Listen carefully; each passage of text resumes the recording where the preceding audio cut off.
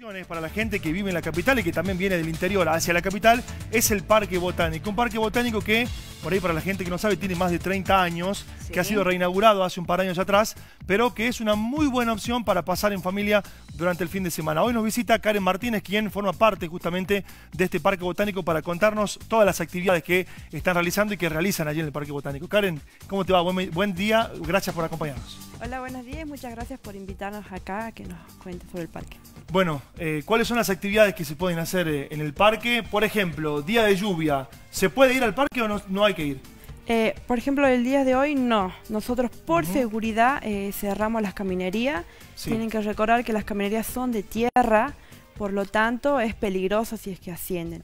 Nosotros, por ejemplo, si hoy llueve todo el día, mañana tampoco abrimos, esperamos que se asiente, que se seque, y en el día siguiente permitimos el ingreso. Ajá, bien, algo para tener en cuenta. Eso es importante, claro, tal cual días de lluvias y días que reparamos los caminos no abrimos.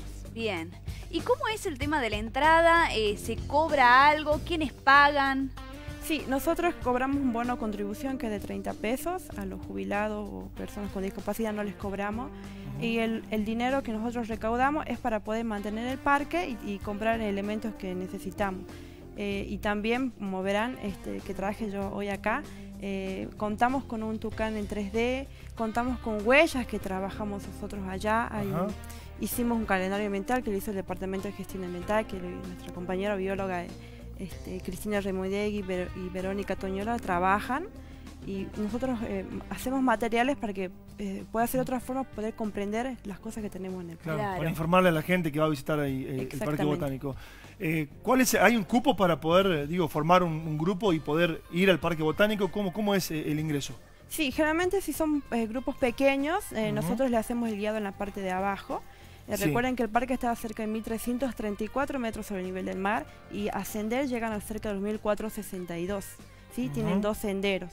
Eh, si son poquitos, nosotros abajo con los guías les explicamos en qué consiste, qué es lo que van a ver. Nosotros lo que más se trabaja allá es la botánica, aunque así igual se pueden ver algunos animalitos como la corzuela. Ahora, si son muchos grupos, es mejor que nos llamen con anticipación o nos escriban por Facebook y para que tengan un guía que les espere y les pueda acompañar a la parte de arriba. Es decir, que cualquier persona puede, puede participar, puede ir al parque botánico, pero también, por ejemplo, las escuelas que no conocen el parque y que quieren ir, pueden inscribirse y pueden hacerlo también. Sí, exactamente. Eh, pueden este, contactarse, generalmente eh, esperamos cerca de 30, máximo 50 personas, alumnos, vienen con un profesor responsable, se contacta con la, eh, tenemos una encargada de los grupos y nosotros les hacemos actividades. Nosotros trabajamos lo que es la conservación, la educación y la accesibilidad. ¿Sí? Por eso este Tucán en 3D, por ejemplo, fue hecho con una persona no vidente. Trabajamos ver con las manos. ¿sí? Por ejemplo, esto que ven acá atrás tiene una huella, ¿sí? Le hacemos cerrar ah, los ojitos y que vean cómo es la huella de un animalito. Claro. ¿Puede mostrarlo de nuevo, por favor, a, la huella que tiene ahí atrás, el este, Por ejemplo, es un mayato. Esto fue con la ayuda de la gente de Proyunga. Allá también cuando vayan van a ver que... Ahí está la huellita, ¿ven? Que tenemos este, este, infografía, ¿ven?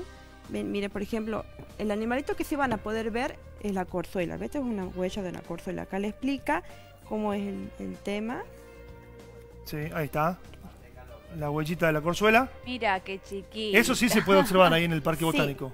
Sí, y hace, poquito eh, hace poquito este, nació una corzuela bebé, que le hicimos un concurso y le pusimos el nombre de Sipi Sipi.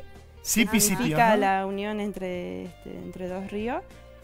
Y, ejemplo, acá pueden ver, este es un dibujo de una corzuela este, ya en estado adulto. El nombre científico es Masama guasupira, la que la corzuela que está en nuestros parques. Tendrán entre 6 y 7. Eh, cuando vayan van a ver que está todo cercado, pero generalmente las corzuelas suben en la parte de arriba. Claro. No es que ustedes pueden llegar y tocar a las corzuelas, no, se permite, eso está en, su libertad. Qué importante bueno, eso, es, También me, parece, sí, tal cual, importante remarcarlo, Sí, eso sí pedimos, por favor, cuando nos visiten, eh, que eh, la idea es que se proteja el parque. Por ejemplo, por eso les decía, el primer paso es protección del lugar. Si no se cumple eso, nosotros este, cerraríamos el parque. Siempre abajo les explicamos. Eh, nosotros tenemos cartelitos que indican qué tipo de flora hay ahí, flora autóctona, de la parte de lo que es la selva montana. Lo, cuando vayan al parque lo que van a ver es la selva montana de la zona de yungas, porque está entre el piso del 1300 y 1400. eh, y que nos ayuden a cuidar también los cartelitos. Eh, lamentablemente ahora no se está permitido subir al mangrullo porque lo estamos reparando. ¿Sí? Eh, recuerden que ya tiene más de 10 años, está hecho de madera. Las construcciones que hacemos sí o sí tienen que ser de madera. Entonces tenemos que este, volver a repararlo otra vez.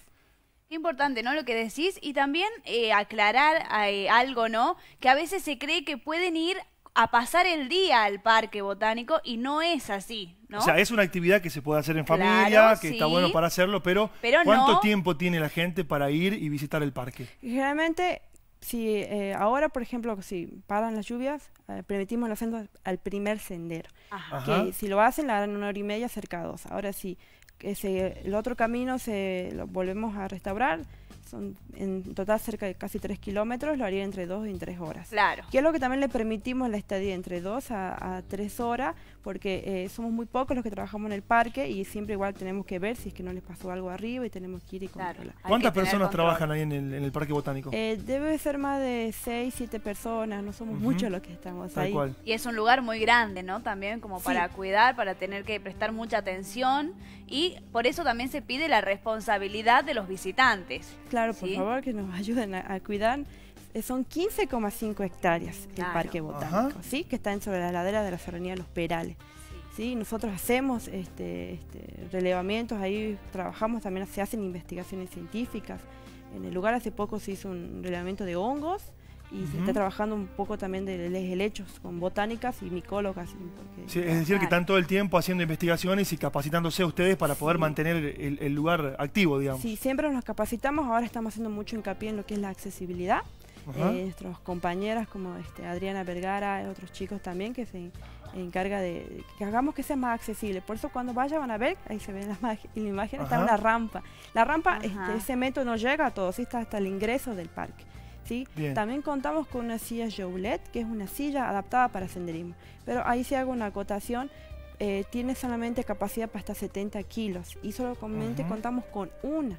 Así que si la, eh, quieren usarla, eh, tienen que avisarnos con anticipación. Está nuestra compañera este Berito T, que le pueden mandar mensajitos y ella se encarga de las, del Facebook y ella le va a responder. O si no, al, al mail botánicojujuy.com y nosotros nos, este, nos vamos a poner en contacto. Eso sí, siempre y cuando un guiado o el tema de allí tiene que ser con anticipación para nosotros poder saber. Por eso le decíamos, somos pocos y no es que contamos que vayan y van a tener siempre este, muchas personas para poder ayudar. Claro, claro, qué importante, ¿no? Podemos repetir entonces eh, en dónde los pueden contactar, Facebook, mail.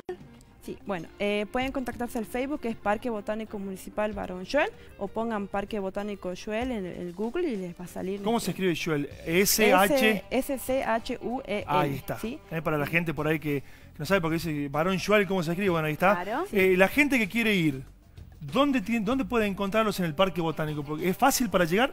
Eh, eh, no es muy complicado. Toman el Unión Bus 18, les dejan la placita de Reyes Mago o le dicen al colectivo, déjame la plaza Reyes Mago. Van a ver que tenemos carteles indicadores eh, que tiene con flechitas y llegan. Eh, la calle se llama Caballito Criollo, no tiene número, está cerca del final, como un pasillito, y ahí está nuestro eh, este, el parque. Y para la gente que va en auto, puede, o sea, en el barrio de Los Perales, la calle Caballito Criollo. Sí, Caballito Criollo, hay una rotonda. En la rotonda, ni bien ingreso al barrio, está un cartel que dice este Parque Botánico. Y le dan ah, flechas indicadoras, y bien van pasando, a otra fecha indicadora con nuestro nombre.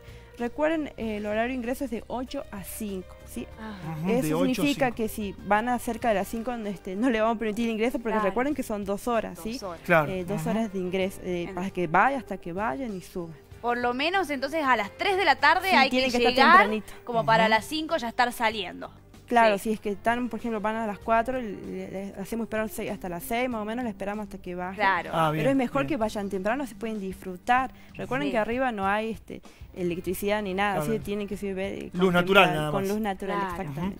Eh, Karen, eh, con respecto a los objetivos que tienen para, para este año 2019, recién dijiste estamos trabajando con accesibilidad, estamos trabajando con los colegios, trabajamos para darle mucha información a la gente que va a visitarnos. Digo, ¿cuáles son los objetivos que tienen para este 2019? como te decía, eh, la idea es capacitarnos y trabajar más con el tema de accesibilidad. Este año vamos a tener una corzuela en 3D. Sí, ah. Ah, tener más animalitos porque ya hemos trabajado, van personas con discapacidad, personas no videntes, nosotros nos capacitamos, nosotros les acompañamos, le hacemos subir, trabajamos mucho el tacto. ¿sí? Eh. Estamos trabajando con las directrices, que hace poco vi que mostraban este, la noticia y estaban mis compañeras capacitándose. Ah, sí, sí, sí, sí. Estamos Ujú. trabajando para que se nos considere un lugar para que puedan venir personas eh, y que puedan todos tener la accesibilidad. Al menos no llegar arriba, sino que no puedan, aunque sea llegar a hasta los 600 metros de distancia, porque ya hemos hecho la prueba, se puede ir con, hasta con la silla Joulet y este todos pueden acceder y conocer un poquitito de la flora y un poquitito de lo que es el Parque Botánico Municipal. Claro, que sea bien Recuerden- inclusivo. Sí, es la única reserva que, que está cerca de la ciudad de San Salvador. Karen, hay mucha gente que ha hablado que ha tenido la posibilidad de hacer este, este sendero, los senderos que tiene el Parque Botánico de noche. ¿Se están haciendo actualmente eh, recorridos nocturnos en el Parque Botánico? Porque sé que hasta el año pasado, por lo menos, algunas fechas lo hicieron. Sí, eh, nosotros lo hacíamos porque el- el- la idea era llegar al mangrullo. Se sube el mangrullo y tiene una vista muy bonita, tanto de día como de noche. Como estamos reparando el mangrullo, no, no, no estamos haciendo las caminatas nocturnas. Además, con los días de lluvia es medio peligroso, entonces Claro. Preferimos parar esa Por actividad. ahora, por Sí. estos meses, van a, Eh, hasta no van a hacer las caminatas nocturnas ahí en el no, Parque no Botánico. realizamos caminata nocturna, sí hacemos la parte de los días, hasta que reparemos el mangrullo. Bien. Qué importante, ¿no, Karen? Así que bueno, toda la gente que quiera ir, que quiera visitarlo, ya saben. Desde las 8 hasta las 5 de la tarde pueden disfrutar todos los días. Sí, están abiertos de lunes a domingo. Ajá. A excepción si algunos días nosotros tenemos que hacer un reparar algo o Claro. estar haciendo alguna investigación científica arriba y necesitamos que se cierre el parque, siempre avisamos este, en nuestra página de Facebook, está Berito que siempre publica. Ah, bien. Y, o si no, cualquier cosa, este, en las oficinas de turismo también tratamos de comunicarles para que se enteren y no se lleven una decepción cuando vayan y lo encuentren Claro, no cerrado. se lleven ahí una sorpresa, ¿no? Al llegar al parque. Bueno, ahí estábamos viendo recién las imágenes de, de Sipi Sipi, ¿sí? de, de la Corsolita, ¿eh? así que bueno, eh, hace poquito ha nacido esta Corsolita y han hecho desde el Parque Botánico un concurso para poner el nombre y finalmente se decidió Sipi Sipi. ¿Por qué dijiste recién que se había puesto este nombre? ¿Qué significa Sipi Sipi? Eh, la unión entre los ríos es una Unión entre los aymara. Recuerden que el río se llama Sibi Sibi, bueno, también Claro. otra forma de, de llamarlo. La idea es que lo puedan, elegimos un nombre que sea más autóctono y también que conozcan qué tipo de fauna hay. Aunque no hacemos mucho hincapié en fauna, se trabaja más la botánica, por eso acá había traído y para que vean también es que hay animalitos, eh, son pequeños, pero hay que protegerlos. Lamentablemente la corzuela es muy cazada. La variedad Es que verdad. viene en el parque Ujú. se llama Masama guasupirá o guasuncho en guaraní. Sí. eh, este, no, no está protegida por ley, eh, Claro. pero la idea es que se conozcan cómo son sus hábitos y que nos ayuden a protegerla. Claro, a concientizar también, ¿no? Empezar a concientizar. Vos nos mostrabas un, un folleto Sí, que eh, eso también lo pueden adquirir, ¿no? En el parque. sí la- este folleto es un poco del resumen de la historia del Barón Joel, que Ajá. lleva el nombre de nuestro parque, fue un investigador muy importante que Sí. decidió elegir a Jujuy como su lugar. Sí. Y eh, acá está cómo llegar en auto. Bien. eh, y este, mapa, algunas indicaciones básicas acá del Parque Botánico. Y unas fotos para que vean qué es lo que van a Ajá. visitar. Claro. Bueno, Karen, muchísimas gracias por habernos acompañado. Realmente interesante el trabajo que están haciendo y es importante que la gente de la capital y también del interior de la provincia pueda conocer y saber lo que hay en nuestra provincia. En este caso, el Parque Botánico, que tiene más de 30 años y que, por ejemplo, una persona como yo, que viene de Libertador, no lo conoce. Voy a levantar Tirón la de oreja mano, para ¿eh? mí es verdad, Tampoco pero bueno. lo conozco. Hay que, bueno, ahí, Ahí está, ¿ves? Nos Viene de vamos, San Pedro. con Así que vamos a tener que organizar con lo los chicos de 7 a 9 más y que con la gente de Canal 7 alguna caminata ahí por el Parque Botánico. Así que nada, felicitarlos por el trabajo que hacen, a seguir adelante con, con el Parque Botánico. Y bueno, ya vamos a organizar para poder ir y hacer la caminata. Filmamos un poco de lo que es el Parque Botánico y lo mostramos Sí. aquí en de 7 a 9 más. ¿Te parece? Si no hay ningún problema, nosotros siempre estamos bienvenidos y los esperamos a todos, a los jujeños que nos visiten. Gracias por acompañarnos. No, muchas gracias a ustedes. Se viene el fin de semana, fin de semana agradable. Ahora está lloviendo, está Sí. fresco, pero según Corina el fin de semana va a estar agradable para agendar lo que hacen en el Parque Botánico aquí en la capital jujeña, en el barrio Los Perales. Allí pueden de 8 a 5 de la Cinco de la tarde, ¿eh? pueden está. visitar el Parque Acuérdense Botánico que a las su flora y 5 su de la tarde ya hay que empezar a levantar el A volver, campamento, ¿eh? Así que Sí, sí, ojo sí. a ir más temprano, como lo decía Karen. Nancy, llegamos a las 9 de la mañana. ¿Qué es lo que hacemos? Repasamos los títulos.